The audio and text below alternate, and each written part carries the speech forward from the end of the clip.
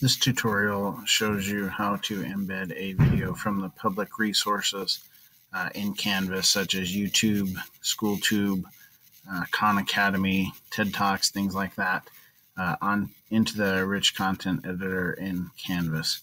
Okay, so as you can see, I have uh, an assignment open in this particular case. Uh, you can see that up here. It doesn't matter whether it's an assignment, a quiz, a page because the rich content editor is all the same. So in order to do this within Canvas, you would click right here, more external tools. Okay, then you would click on this, this thing here called public resources. So I'll go ahead and click on there. It's going to pull up a menu that looks just like this. You can see I have YouTube here, uh, TED Talks, uh, Vimeo, SchoolTube, Khan Academy, Quizlet. Uh, these are all things that you can embed in Canvas. So I'm going to go ahead and just use Khan Academy. Um, I'll go to arts and humanities, go to U.S. history, um, and we'll do um, we'll do the modern era. We'll look at the 1990s. Since there's nothing there, so I guess I can go back and look and see if there's anything in the 80s. Nothing in the 80s either. Khan Academy is letting me down. I guess we'll go to the Gilded Age, and we'll go to the South after the Civil War. There we go. Okay, so couple quick notes here that I'd like to point out. First of all, hopefully my cursor's in the right spot. I really can't see it there, but um, the biggest thing is this will insert the video wherever your cursor is. Okay, so let's say I want to look, I think that this video is going to be a good one. I want to click on this drop down arrow here. This is just a link, which I really don't want. I want to embed it small, medium, or large.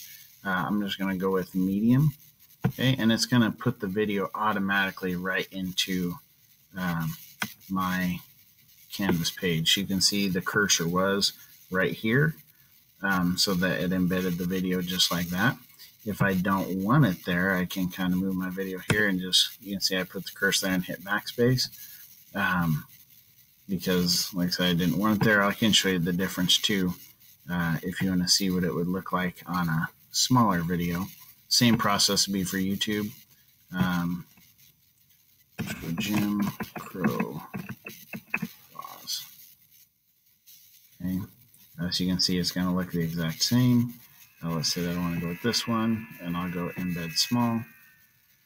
So you can see the difference between large and small as far as that goes. Okay, so that embedded in there.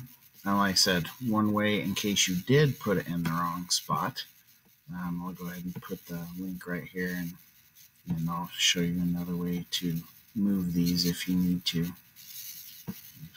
Again, Crow laws. Okay, gotta hit enter. Um, so now you saw I put the cursor in the middle of the sentence, I'll embed it there. Okay, so you can see it's kind of a mess, right? It's like, oh, whoops. Okay, now I have that right, right in the middle. One way to do that is by hitting Control Z okay, which took it back out. And let's say that I do want the kids to watch that video. So I'm, you know, I just put my cursor there, enter. So now you can see my cursor right here. I can go control V. Oops, or not.